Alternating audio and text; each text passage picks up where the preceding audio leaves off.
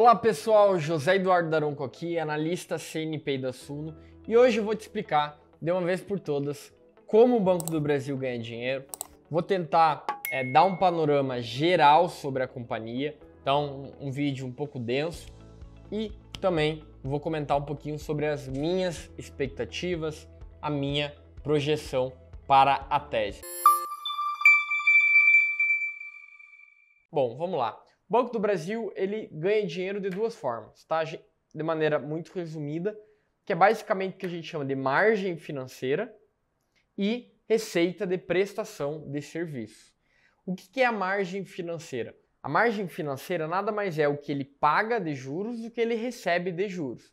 Então, todo o dinheiro que você deixa lá na poupança, por exemplo, o banco tem um custo para ele, né? Ele paga, mas é um custo muito, muito barato.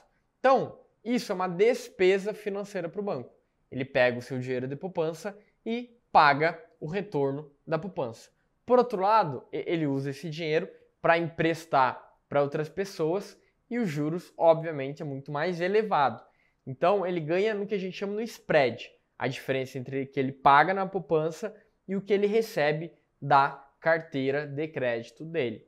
Então, isso é margem financeira. Quando a gente olha para a receita total do banco, que o nome técnico é produto bancário, quando a gente olha para o produto bancário do Banco do Brasil, a gente vê que algo em torno de 60% da receita total vem da margem financeira, que é esse spread, né? essa diferença entre o que você paga e o que você recebe.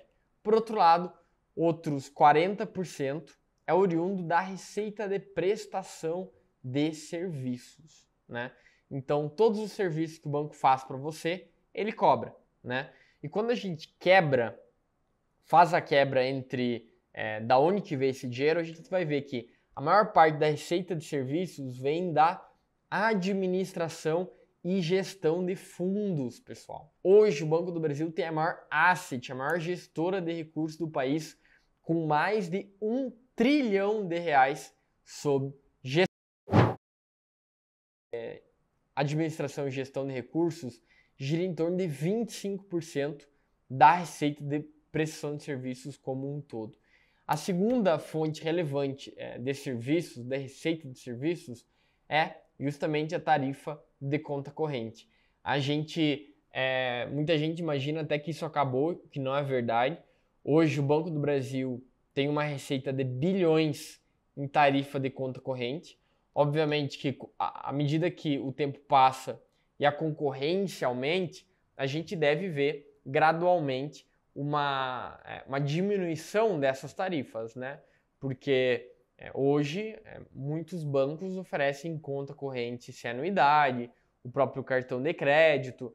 Os grandes bancos estão sendo relutantes a, a, a mudar, justamente porque eles ainda ganham muito dinheiro, tá? Mas quando a gente olha para o futuro, eu acho que passei a panorama do que é a receita do banco, e quando a gente olha para o futuro, a gente deve ver a margem financeira crescendo, porque a carteira de crédito do banco tem, tem crescido bastante, vou comentar daqui a pouquinho.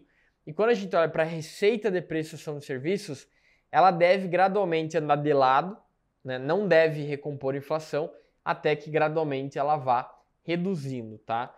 Eu acho que os bancos, os grandes bancos, devem sofrer e a linha que eles mais vão sofrer é justamente na prestação de serviços, tá? Eu acredito que a receita, por exemplo, tarifa de conta corrente é algo que deve é, cair muito, muito sua receita, porque todos os competidores hoje isentam os clientes, tá? Até para reter eles. Bom, falei um pouco sobre receita, quero falar um pouco sobre a carteira de crédito. Porque, como eu disse, a maior parte da receita vem da margem financeira. E a margem financeira é você pegar dinheiro e emprestar a um custo muito maior. Quando a gente olha a carteira de crédito do banco e está na tela aí para vocês, vocês vão ver que a carteira do banco é dividida basicamente em quatro, quatro segmentos. Carteira de pessoa física, carteira de pessoa jurídica, carteira do agronegócio e a carteira do exterior, tá?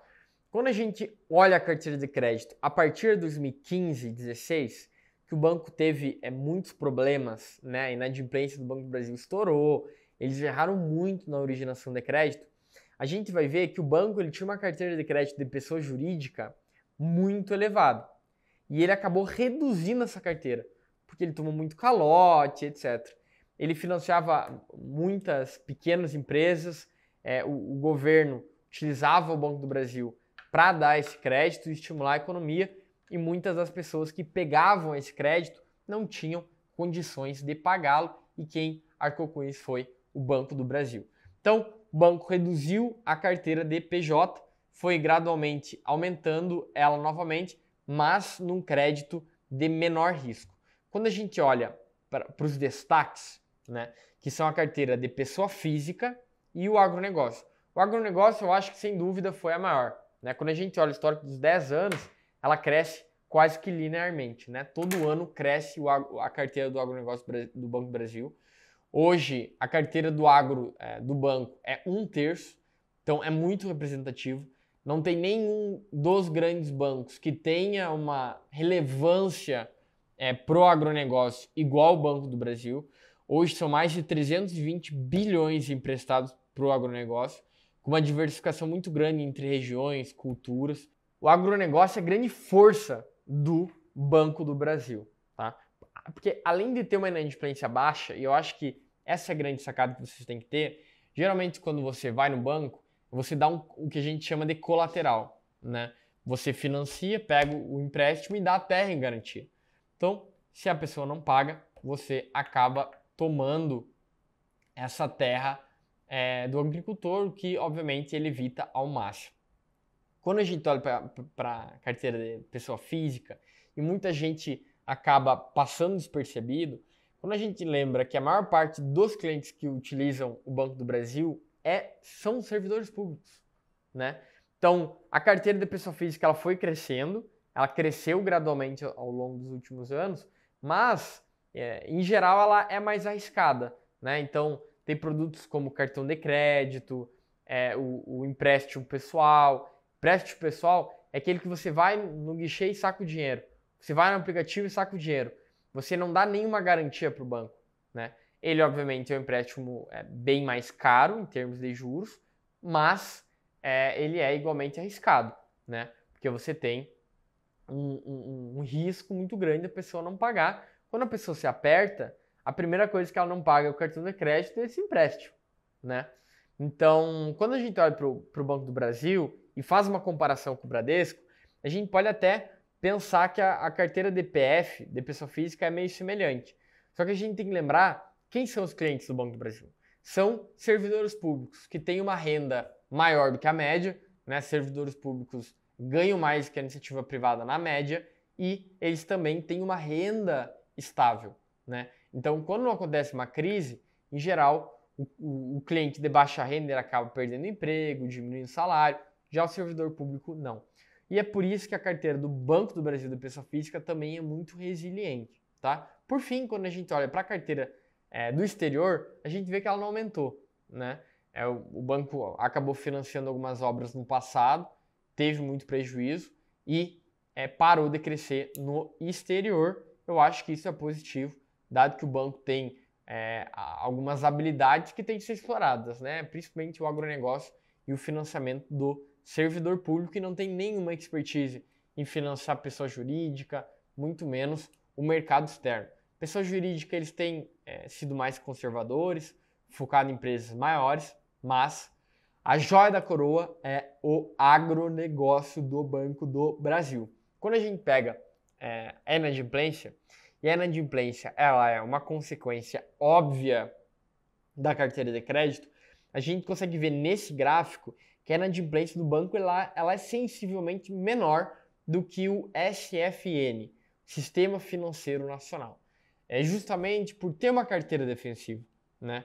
O banco, é, quando a gente faz uma comparação com os pares, a gente vê que o Banco do Brasil está com uma rentabilidade maior que o Bradesco, maior que o Santander, são bancos que têm uma exposição maior à economia, a, a, a, a, clientes também de baixa renda, que têm um perfil de risco maior. Obviamente que eles cobram mais juros, mas a, a inadimplência atual, eles não têm conseguido repassar essa inadimplência para os juros, né? Então não tem compensado e por isso que a rentabilidade é, dos pares privados tem caído. Caso muito diferente do Itaú, né? Quando a gente olha o Itaú, o Itaú ele tem uma carteira de pessoa física muito forte também, mas qual que é a diferença? O público. O Itaú ele tem a maior marca de alto padrão do Brasil, que é o Personalité. Se você já assistiu jogo de futebol, você provavelmente já viu a propaganda do Itaú Personalité na, nas televisões, né? Que é uma marca muito forte, é uma marca por um público de alta renda. Salvo engano, para você ser Personalité, tem que ter um investimento mínimo de 200 mil reais, o que obviamente é, é inviável para a maior parte da população brasileira. Então, quando a gente olha para a receita, falei um pouquinho, carteira de crédito, falei um pouquinho sobre inadimplência, mostrei os gráficos para vocês, vou falar sobre resultado. José Eduardo, é de hoje que o Banco do Brasil tem crescido o lucro paulatinamente, ano contra ano. A ação subiu muito e todo mundo me pergunta, é, a ação tá cara? É, a minha resposta é não, tá? É, hoje o Banco do Brasil é, negocia a 0,8 vezes o valor patrimonial. Então isso significa que você, a cada 100 reais que você que tá, tem lá no Banco do Brasil, você está pagando efetivamente 80 reais. Né? 80 reais, 100 reais. Então você está ganhando 20 reais porque você está comprando abaixo do patrimônio líquido. Né? No linguajar no mercado a gente fala abaixo do book, né? do book velho. Então, você já está ganhando cerca de 20% em relação ao patrimônio do banco. Só que, o um detalhe importante, o banco tem gerado 20% de retorno por ano. Né? Além de você estar tá, é, comprando o Banco do Brasil num valor abaixo do patrimonial, você está tendo um retorno muito significativo do banco. Então, se você for analisar o retorno implícito da ação hoje a 48 reais, a gente está falando de um retorno acima de 25% por ano. Obviamente, Eduardo, tem riscos, né? Para sempre que uma tese está muito barata, ela tem riscos embutidos e você tem que é, analisar bem e entender bem esses riscos. O risco mais importante é sobre a sua política de crédito. O Banco do Brasil é um banco, né? A maior parte da receita é na margem financeira. Então, se ele não emprestar bem, ele não vai ganhar dinheiro. E, obviamente, o governo, que é o controlador do banco, ele tem incentivo em conceder empréstimo, estimular a economia, mesmo que isso prejudique o Banco do Brasil. Então é isso que você tem que ter cuidado e é por isso que o mercado bate muito, precifica muito o Banco do Brasil, tá? Por quê? Porque se espera que o governo altere a política de crédito do banco, é, aumente o número de perdas e por isso diminua a rentabilidade do Banco do Brasil. É, só que quando a gente olha o preço, né, a gente está pagando hoje o Banco do Brasil a quatro vezes lucro. Né? É, na minha opinião, eu acredito que muito desse risco já está no preço.